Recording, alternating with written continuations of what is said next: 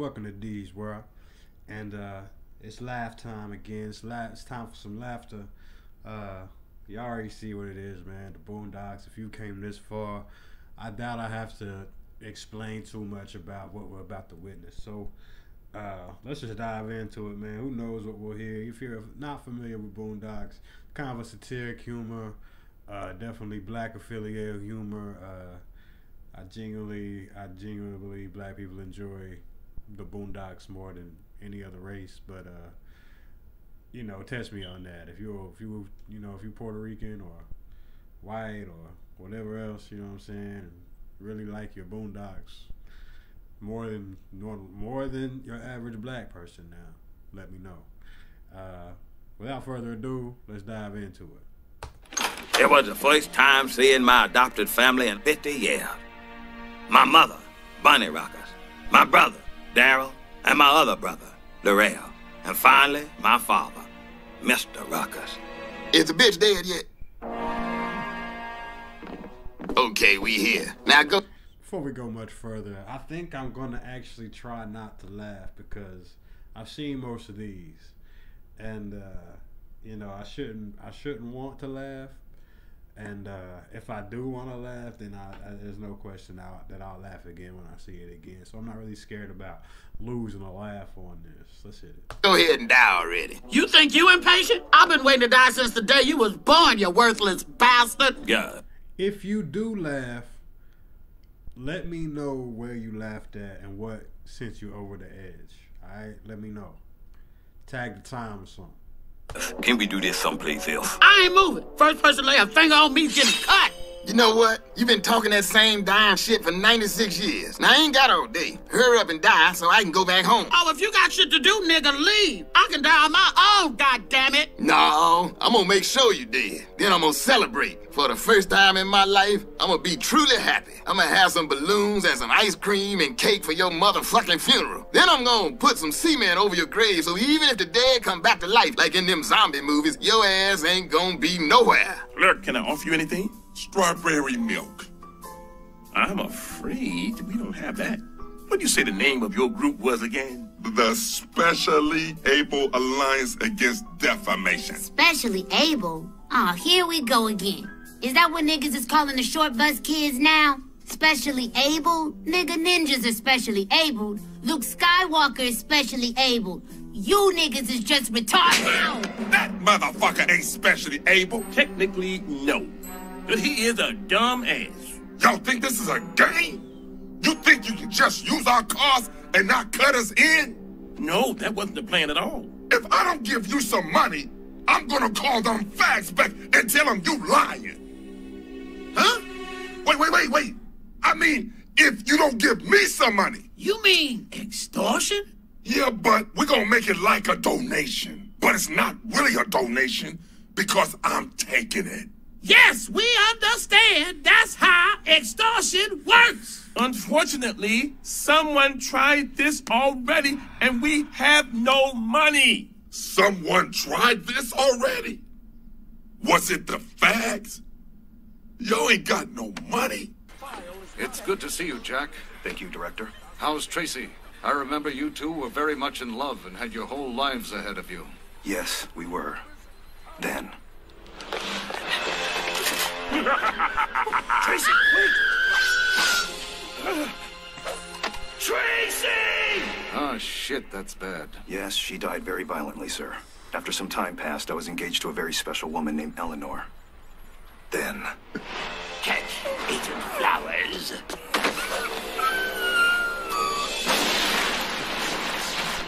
Eleanor! Holy fuck, that's bad. I thought I would never love again. Then I met Taquanda. Taquanda? Yes, sir. Taquanda. Then. No. There! Get this motherfucker! What you standing there for? God damn it! Do something! Jack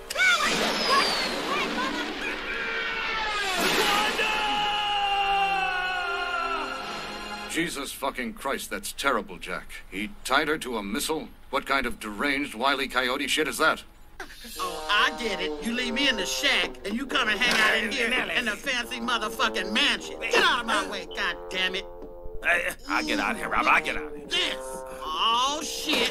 Now, this is a dying chair right here. No, no, no, no, no, no, no. Mm-mm-mm-mm. That's my chair. That's a living chair. Oh, yeah. I might want to get buried in this motherfucker right here. Uh, Grandma Nellie, please. You can't die in Robert's chair. Let's go back home. I don't want to die in that shithole. I want to die in the fancy fucking mansion. I only get to do this once, and I'm going to do it right. Voting for Obama because he's gonna lower my taxes. Actually, he has promised to raise taxes at your income level. Huh?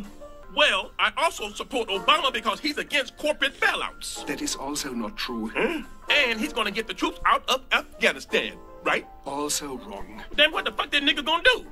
Coming up next on the Steve Wilkos Show! I just want to know who my real father is. Mom's always said his nickname was Lando. Didn't you used to call yourself Lando? Didn't you? Answer me. Stand up. Don't even think about sitting on my stage. Stand up. But my knee hurts. Get your ass up.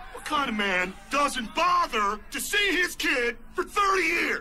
30 fucking years! But, but, but I didn't know. You know what I want to do? I want to beat the living shit out of you! Oh, easy now, big fella. I will not be easy on you. I fucking hate you. You make me want to... One day you have to go. Before the show, you took a DNA test. And the results of the DNA test are Robert is...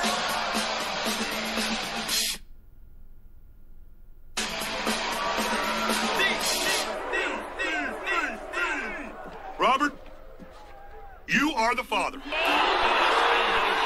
the sack from whence I come. You are the sack from. That's the that's the pair that I came from. Look at them. Them the ones that I came from. I came out that tube right there. Good looking, man. Yes. How you feel now? Deadbeat, huh? Wait, I didn't know. I, you finally gonna take responsibility, or you gonna keep making excuses? You pussy punk bitch! Hey, don't call my daddy no pussy punk bitch. Look at him. He is a pussy punk bitch.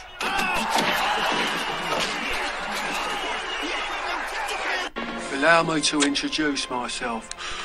I'm the bloke you're stealing from. The name's Alistair Rigby. But as far as you're concerned, I'm Willy fucking Wonka, and you're taking a shit in my fucking chocolate factory. Easy, boss. Don't get upset. When I have to go to the dentist, I'm upset. When Liverpool beats Arsenal, I'm upset. But when some little shit decides to take over one of the most profitable territories in the country, I'm beyond fucking upset. I'm very fucking upset. So, from now on, you're under new management. You will work for me, and in return, you'll receive an allowance. Allowance? Yes, allowance. As in, I'm allowing you to keep 10%, and I'm allowing you to keep drawing breath on this earth. Now, you either get down or you lay down. What's it gonna be, sunshine? This wasn't no movie. The smart thing was to say yes, get up, and leave the room. But then I thought to myself, what if this was a movie? Look, fuck you, fuck the plane you flew in on, fuck them shoes, fuck those socks with the bell on it, fuck your gay ass fairy faggot accent, fuck them cheap ass cigars, fuck your yuck mouth teeth, fuck your hairpiece, fuck your chocolate, fuck Guy Ritchie, fuck Prince William, fuck the Queen. This is America. My president is black and my Lambo is blue, nigga. Now get the fuck out my hotel room. And if I see you in the street, I'm slapping the shit out of you.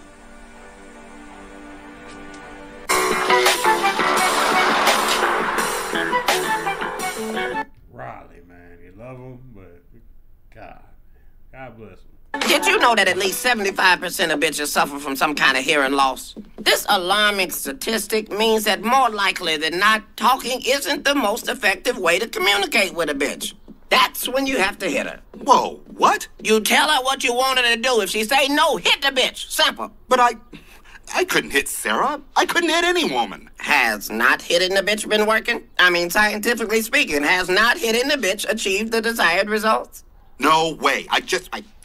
I, I can't. I, I couldn't. Tom, I won't. Tom, take a deep breath. It's okay. People have phobias. Some niggas can't cross bridges. You can't go upside a bitch's head. Okay, we can beat this. Tom, this is my bottom bitch sweetest taboo. Now she's gonna help you learn how to reestablish dominance at home. Hello. Taboo will be playing the role of your wife. Now, approach Taboo, grab her arm firmly, and command her to leave with you. Okay. Sarah, get your behind. Stop, stop. Say bitch. Do I have to call her a bitch, really? Yes, Tom, you have to call her a bitch. Trust me on this one. I've done the research. Now try again. Ah. Bitch! Get your behind. Ass. Bitch! Get your ass in the car. Kiss my ass, you little dick faggot motherfucker. If you was any kind of real man, I wouldn't be here with Usher in the first place. Wait, hold on. I, I don't think that's what Sarah would say. It's now tragically obvious that reasoning with the bitch is not gonna work, Tom. You have to hit her. I'm an assistant district attorney, for Christ's sake. Tom, you have to get past this. It's okay, faggot. Really? See, faggot, she just gave you permission. Ah! You see that? Bitch has no problem hitting you. All right, lady. Okay, look. Ah, You're definitely allowed by law to hit her now, time It's self-defense. Okay? Sweetest taboo, you are in rare form. This is my state-of-the-art surveillance center. Why does a pimp need a surveillance center? Included in your retainer fee is state-of-the-art bitch surveillance. Quiet Storm here has been monitoring your wife's conversations and emails. Daddy, I've got transcripts of all her conversations today, no mention of Usher. I'm hacking into her email now, but this computer is running a bit slow. Perhaps if we didn't have dial-up. Bitch, don't start with that we need another computer shit again. You say that shit every time a new iMac comes out. You ain't slick. You better make that G4 work, bitch, and stop playing with me. Yes, Daddy. It's a nigga in a purple suit.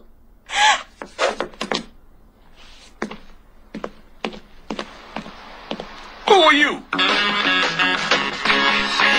My name is a pimp named Slickback, and I believe I may have misplaced some merchandise at this residence. There she is. Bitch, I hope you got the monies to cover this little vacation you've been taking. Now hold up, Slickback. No, that's a pimp named Slickback. That's what I said, Slickback. No, no, it's a pimp named Slickback. Like a tribe called Quest. You say the whole thing. A pimp named Slickback. Uh, can we call you Slickback for short? No, nigga, I'm a pimp named Slickback. Crystal, who is this person? Nigga, are you deaf? I'm a pimp named Slickback. Say it with me now. He's my pimp. You- You're a pimp. So you really are a... a... Yes, I'm a hoe.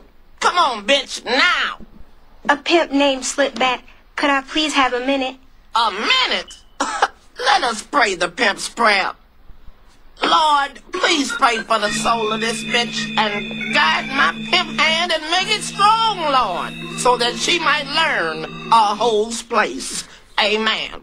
Amen. Yeah. About sex. This will all straighten itself out. Oh, you gonna talk to her? Oh, no. Mm-mm, mm-mm. No, not me. Mm-mm. So you see, my dearest Riley, it is this instinctive and burning need to procreate between a man and a bitch that not only keeps the human race going, but also fuels many important industries, such as my very own. So what do you think about homies over hoes? Is that something at Denny's? Well, I, I don't know what that is. Homies over hoes? You know, like you supposed to put your homie over a hoe. That's how pimps do, right? I don't think homies over hoes is a sentiment that a pimp named Slickback can co-sign, Riley. I mean, don't get me wrong. A pimp named Slickback will put a lot of things over a hoe. Money over a hoe? Always. Brand new gators over a hoe? Absolutely. A turkey sandwich with just tomato? Guaranteed. But homies? Oh no. A pimp named Slickback don't do shit for the homies. Let me reiterate, don't do shit for the homies. Unless the homie wanna walk that stroll and get that money, the homie ain't getting a damn thing. And the same goes for brothers, peeps, dudes, fellas, dunnies, comrades, whatever the niggas is calling each other nowadays. Sound like some gay shit to me. Man,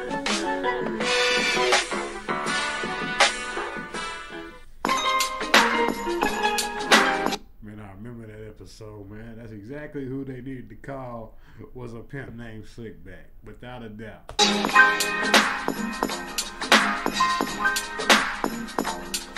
Just vibe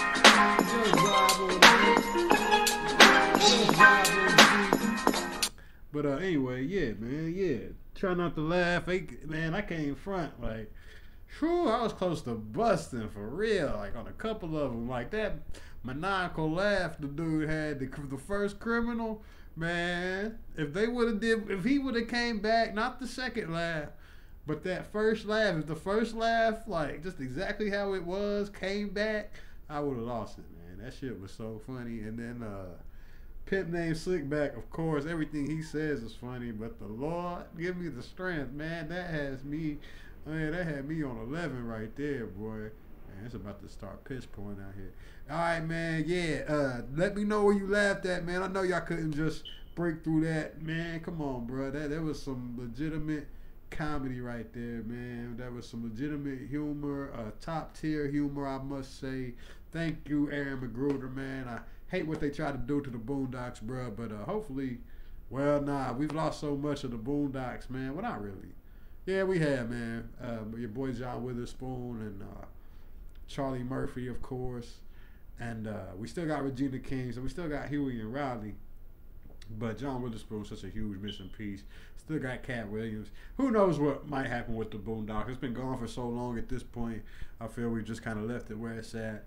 But uh, it's always a joy to just go back and turn on some old seasons of the Boondocks and just, you know what I'm saying, chill out, vibe out, and just let the let it let it kind of, uh, you know, it's it's comedy you can think on. So just kind of let it play, and then you know when you get the laugh, it's really good because the substance is usually there to make the laugh like a hopeful laugh. It's not just it's never on the surface with the Boondocks. There's always like a under like an undertone joke or something or a theme like they feed into. It's it's uh, it's it's genius, really. But I'm going a little long winded. I hopefully you enjoyed this. Go ahead, like the video, subscribe. Please do that. It helps us so much.